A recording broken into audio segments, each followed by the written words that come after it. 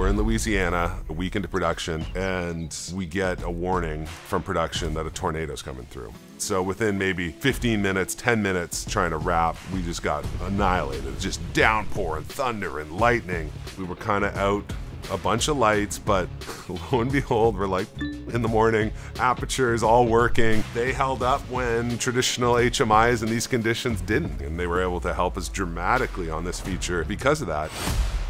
Hi, my name's Chris Stacey, and I'm the cinematographer on The Blind.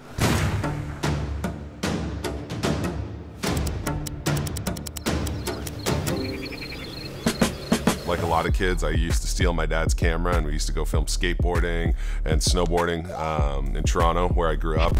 From that point, I got into music. I started shooting music videos for the band. My agent at the time, he's like, Oh, you're pretty good at that. And I'm like, Oh. And so, you know, I started directing Royce the Five Nine and CeeLo and a lot of these big Canadian artists I was able to work with at such a young age. And then from there, it went into commercials, documentaries, and TV series. And then you know, here we are doing some features. The Blind's the story of Phil Robertson. He's the patriarch of Duck Dynasty. So it's the life of Phil growing up from the 1950s to 1975, where he invented his first duck call, which kind of changed their lives and changed his lives. And it's the story of alcohol and abuse and, you know, his story of redemption. I think there's two things we looked at when we wanted to figure out how we wanted to visually adapt Phil's story. The first thing was is understanding that it was a period piece, right? Developing a look and a style that was going to feel like it was from that period. The other thing is when you're dealing with drama and something that is real and something that really happened, I think the style of cinematography you want to do is just be a fly on the wall. And if it meant being knee deep in mud, that's what we did. When we first walk into a room, into a scene, I love just seeing what the practical lights are doing. I mean, that's the first thing I'm gonna do is I'm just gonna turn on the lights. I'm gonna see where the sun's coming in. I'm like, oh, that's interesting. If we're on a set and the sun's coming through the window and hitting something a certain way, I'm like, oh, how can I just recreate that? I remember one of the cool, tricky things that we were able to do with the 1200D is that we were able to throw that thing out on a boat with a little putt putt generator and go put a light source like 100 feet back in a swamp at night. Being able to be out on the water uh, with 1200Ds and just run those off batteries or run those off of, you know, little putt putts was, was crucial. You got to die, and then you need to be born again. All right, so now we're going to look at some lighting breakdowns for scenes in the blind.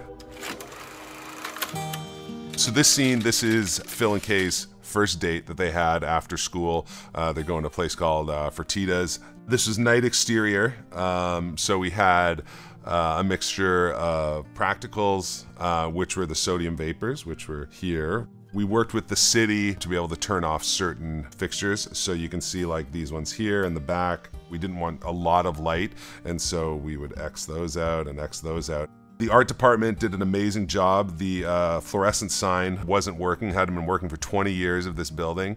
And so we did a full restoration for them on the neon sign. And that motivated a lot of the lights we had underneath here and here and here. There were RGB fixtures underneath the awnings, which did that, but our main source was coming from a condor. It was interesting because originally there was an 18K up there my gaffer wanted to put it up and I was like it's going to be too bright I don't need it. The problem was is that we still had to deal with the wides and the practicals of sodium vapor lights and so my gut told me to go and put up the Novas and that they would be enough. We threw them all up there, rigged them all up there, and that's providing all the fill that's coming this way. And I believe actually in this phone booth right here, we actually put some MCs in the roof because it wasn't a working phone booth.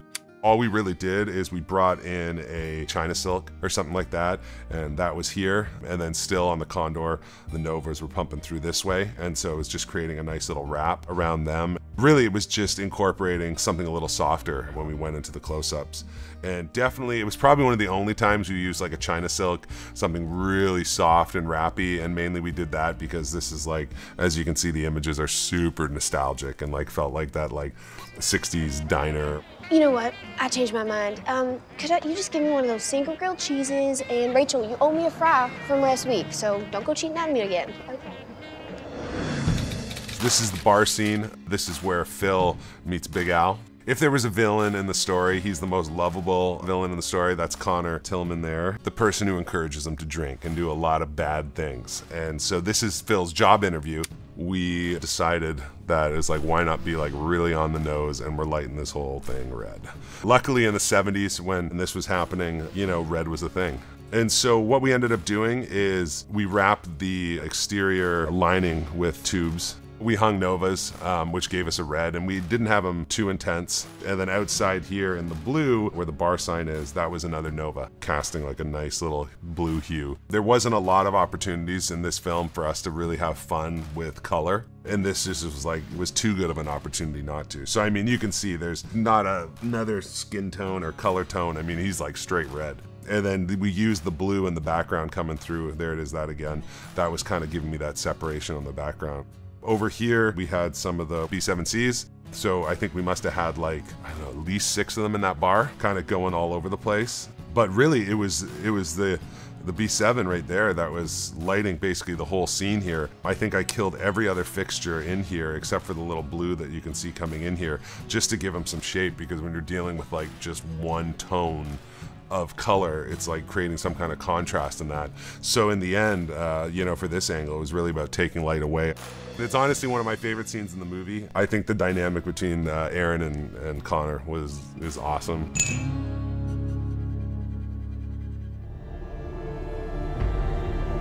Get out.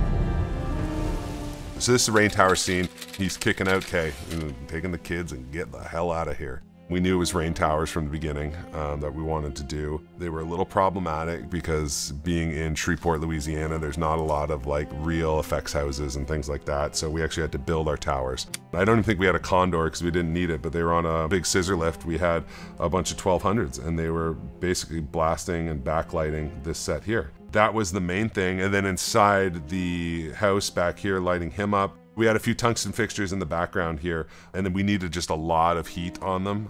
Ah, and then I forgot, I almost forgot. Coming from this way to kind of do this, all this soft kind of lighting on the car, and as they're walking out, you don't see it, but we had Nova 3, maybe two Novas coming from over here, and I think we were bouncing them into a 12 by 12 by 12 ultra bounce and so they were going into there and there was an, actually another sodium vapor light right here that we couldn't turn off. And so we did the same thing.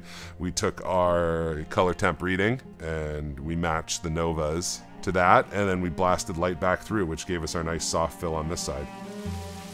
There's a wider version of it, but you can see this is really beautiful with the rain coming down. And so we didn't have condors that day, but on the roof of the house, we had two 1200s on the roof on low boys and they were backlighting the rain. The rain towers were hitting the 1200 Cs like this all night long, and we didn't care because they had a waterproof rating, and I'm like, I'm gonna put that to the test.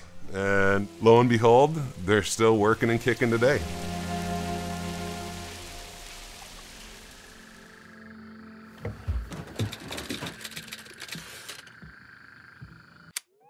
So these are real 1960s, 50s Airstream trailers. I couldn't even fit my shoulders through some of the doorways in these trailers. So, I mean, it was tiny. So these were practicals. This is a B7C, a B7C, probably this one as well.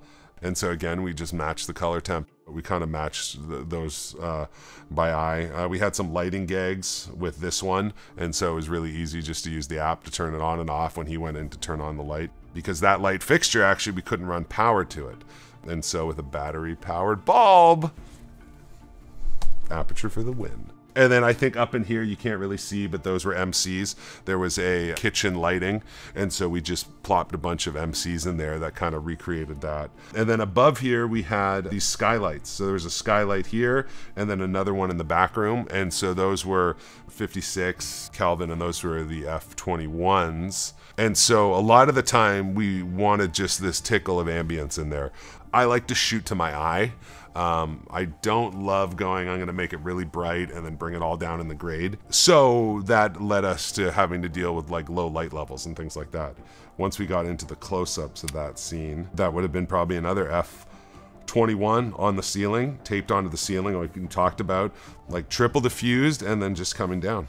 Sometimes simple is better. Um, you don't need to go crazy and be complicated for a scene. Sometimes practically, you know, the practicals sometimes are all you need, or sometimes you need just a little bit of light to make something look good.